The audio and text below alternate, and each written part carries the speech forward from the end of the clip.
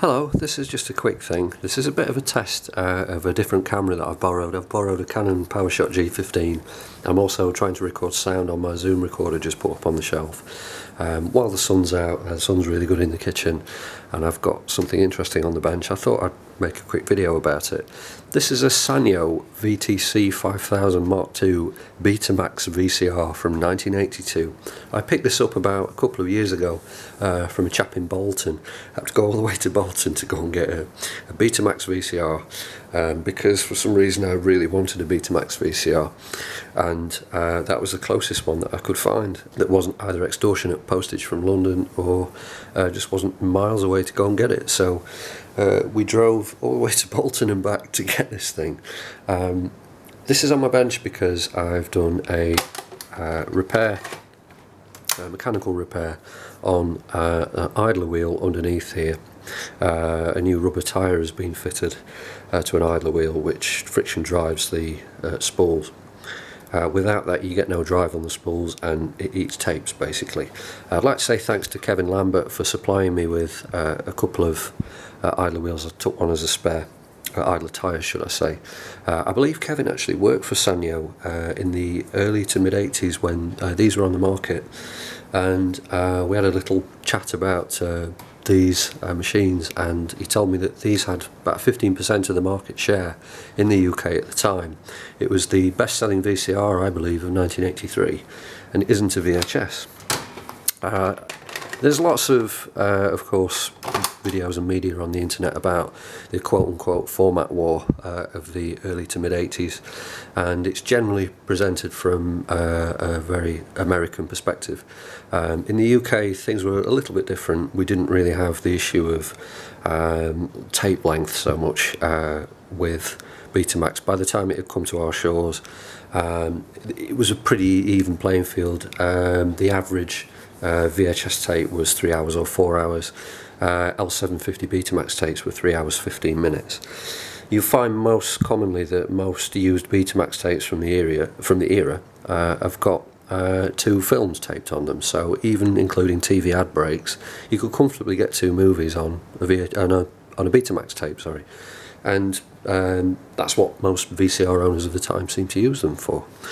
Now, what I want to talk about on this is um, what a fantastic piece of engineering this was in terms of uh, scaling down complexity, reducing weight, reducing cost, and being able to get this onto the market at a price point uh, that made it the first uh, quote unquote mass market VCR. And this was the first to, I believe, come under the £400 um, price point, which is about equivalent to about a thousand pounds, I believe, in today's money. And unlike a lot of things uh, you find today, um, it wasn't done by snide copies of circuits or um, building something badly, making something out of crap. Um, nothing like that happened at all. It was through sheer genius of engineering and a lack of outsourcing. Because Sanyo were predominantly a, uh, a component company uh, in Japan, this is made with a lot of Sanyo components. All the capacitors, uh, well all the ones that haven't changed because the power supply and servo board have been completely recapped, but all the original capacitors are Sanyo. The giant STK voltage regulator on the side I'll include a picture of is a Sanyo chip. I believe some of the microcontroller circuitry is Sanyo chips. So not only have they got, of course, their own chip fab, their own uh, component factory, uh, but of course they're not having to pay anyone else uh, to get components, uh, you know, at a high cost. Another thing on this is uh, much of the casing, the chassis, is uh, is plastic molded. So there's a there's a huge reduction in the amount of metal that's in this, which makes it weigh approximately um, half to two thirds of the equivalent Sony at the time. Now Sony were the absolute kings of using 25 materials to make one part to do one job. Um, and so you find every Sony machine uh, of the era, if you have it now, uh, is always plagued with mechanical and electronic problems that are a nightmare to solve. This thing, apart from changing rubber parts, still works, and some of the capacitors of course, still works fantastically.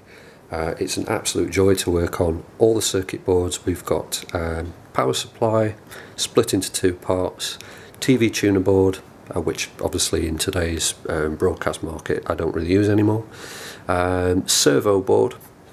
The main board underneath is uh, the video amp and uh, this board is uh, the microcontroller, the logic control essentially uh, for operating the unit.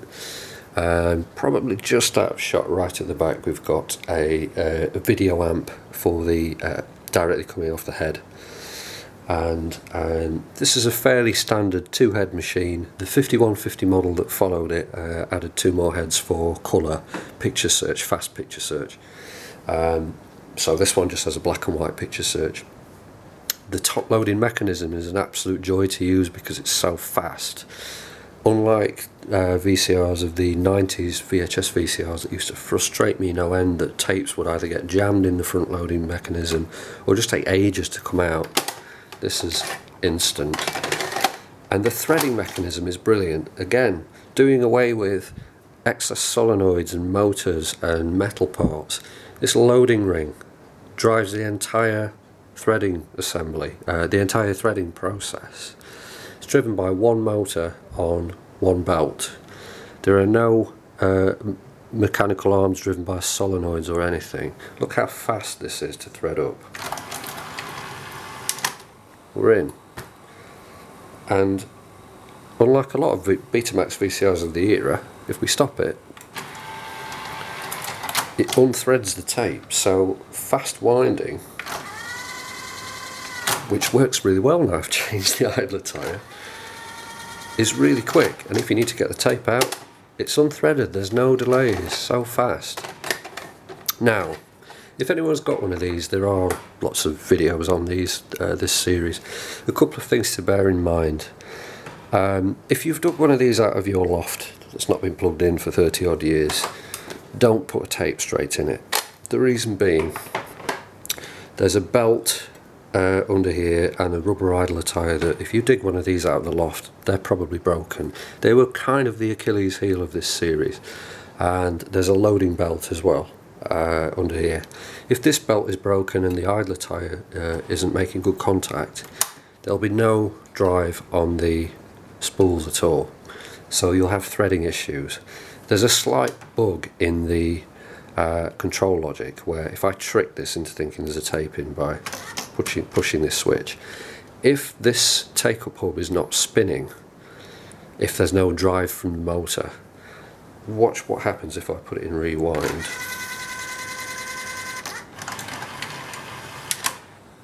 So it threads the tape and then goes into panic, goes into shutdown. So if this is making bad contact or the belt's missing, you won't be able to wind that tape back in when you press stop.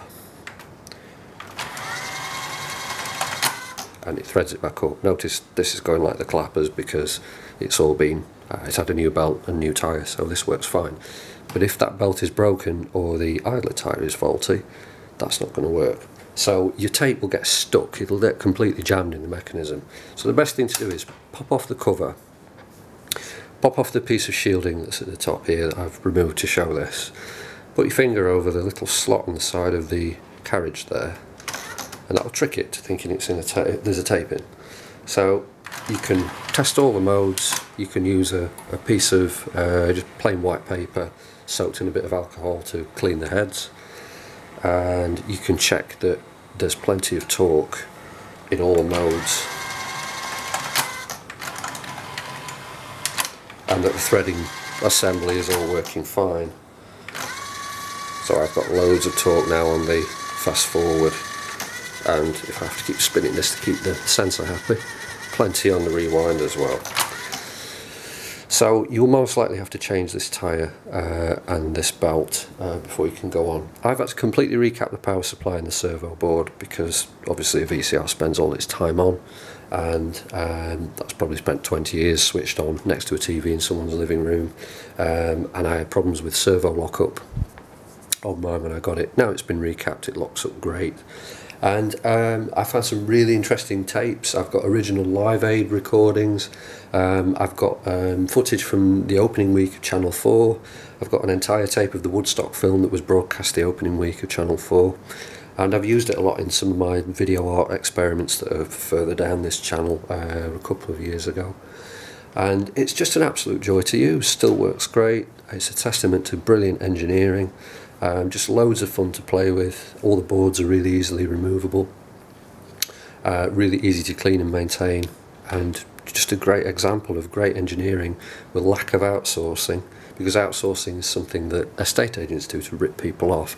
It's not something that good companies do with brilliant engineering to get something down to a, a cost, uh, you know, a good cost point uh, where they can get it to mass market.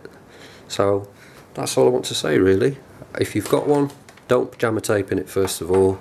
Check the uh, rubber parts, check the torque of the idler wheels uh, and the uh, spools. If you're completely happy, give it a clean, put a tape in it, plug a monitor in. It'll probably work. Cheers.